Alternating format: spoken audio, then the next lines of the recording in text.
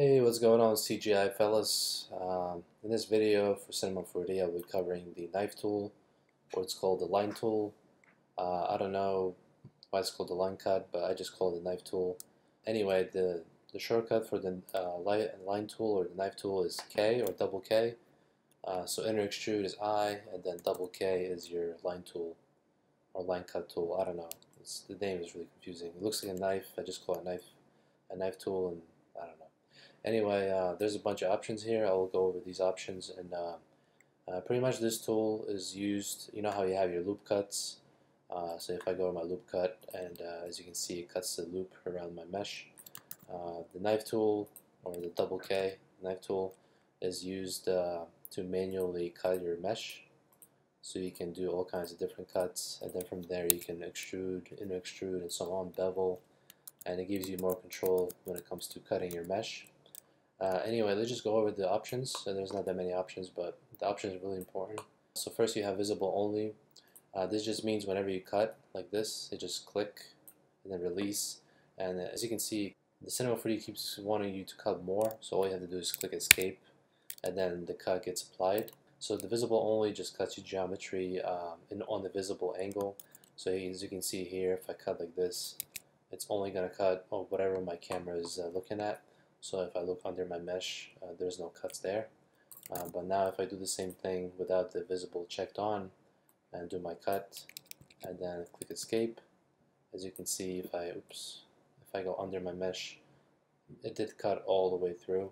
So this tool is really useful and it's, it's mostly used in the top mode uh, for get, uh, to get your more like precise cuts. So if for some reason you know your loop tool is not working, all you have to do is uh, go in here and start cutting just like this. And then you can go back to your perspective mode. And as you can see it cuts all the way through. And then you can delete the uh, delete the edges here. And then create your custom pretty much your custom cuts. I don't know how else would you call it. So if I delete these faces. And then weld my edges together and I'm inside my uh, polygon pen tool and I'm holding command to weld my edges. If you don't know how to do this, you can just watch my previous videos where I covered the polygon pen tool. Uh, but anyway, so we get this kind of effect. So this option, visible only, for the knife tool is really useful. It's for cutting, you know, based on camera angles or cutting based on, you know, it doesn't matter where your camera is, you can just cut through your geometry and uh, it cuts all the way uh, you know to the bottom of your mesh. Uh, anyway, the next useful tool is uh, the line uh, line cut or the single line. So you have if you have this checked, you don't have to worry about clicking escape after you cut. So as you can see, if I click and drag and let go, the cut gets applied right away.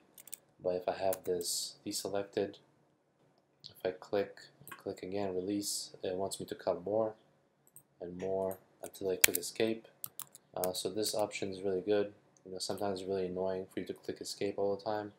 So you can just, you know, cut it and then let go and cut gets applied. And as you can see, we cut all the way through because visible only was checked off. Uh, but it's okay. I'm just trying to show you how this tool is used. Um, so let's just uncheck that. And then the infinite cut, you know, it's pretty much the same thing. But it cuts, as you can see, it cuts all the way through infinitely. So you give it a small cut, and then it gives you this uh, preview of a uh, yellow line. It just means where the cuts can be applied. Yeah, this comes in handy sometimes, but I don't really, I don't really use it. Um, the next few options you have here, you have the cut tool, which is you know just cutting, and then from there, as you can see, if I select my uh, face, everything's still welded. So that's what that's what cutting does. Double K for the knife tool, and uh, in the split tool, uh, it's to split your faces. So if I do my cut and then click Escape, if I click on my face and move, as you can see, it split the face for me. So this comes in handy. You know, depend depending on what you're doing, you can either split faces. You can either split faces or you just cut the faces. Uh, it just depends on what you're modeling. Uh, the next part is really cool, is remove A or remove B. Uh, so pretty much what it does, let me just deselect double K. It just cuts your geometry like uh, pretty much like in sculpting mode.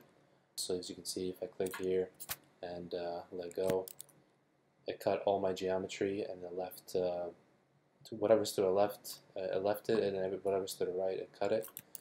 So if you don't want this effect, you can just go from remove B instead of remove A and do the same thing. And as you can see, it gives you a nice and clean cut. And then from there, you can come back and weld your uh, faces or edges and uh, fix the geometry.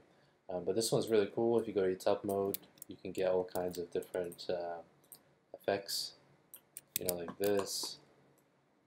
It just really clean cuts, and then from there you can just weld your points together and uh, you know continue with your project.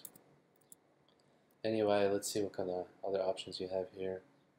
Um, I'll select only cuts, uh, restricted selection. It's useful sometimes. Uh, this is really simple. You just select your faces or edges and then double K. And if you have this selected, restricted to selection, uh, your knife tool, even though I start here uh, on my outside edges and going all the way through, the cuts can be applied only to the selected area. So this is kind of like a security insurance for you to not to make a mistake and cut somewhere else. And so if I select you know these five faces and I want to cut only there, this option is really good because uh, you know it just restricts uh, restricts your cuts to selection. Uh, that's about it for that uh, for that option. And what else? Auto snap, you should always have it on angle constraint, you know, it's it's useful sometimes, but I don't really use this one. And real-time cuts, just leave that on. Anyway, so let me show you a scenario where you can uh, use the cut tool or the knife knife tool. Uh, so sometimes, you know, you want something custom in your mesh, and uh, you cannot really do that with the loop tool. Uh, so you would come in here, you know, maybe do something like this. Oops, I'd have to switch my mode from cutting, I mean from um, removing to cutting. And as you can see, I can cut something like this. And now I have it here. And I think it went to the other side, but it doesn't matter. And then from here, you can delete your faces, uh, optimize your scene by highlighting all the vertices. Because right now I have all kinds of vertices floating around. So you just highlight, optimize, removes all the vertices, and then you can come back, highlight all your edges, and see if it works UL. No, it's not working in this case, so we have to do it manually. Just select all your edges. It doesn't matter if it selects other stuff. If you click Command and hold, you can deselect. And just, oops, let's deselect, deselect these. And then from here you can um, create a point or you can uh, patch the hole like this. And then uh, you can create a point in the middle to give you um, subdivisions like this.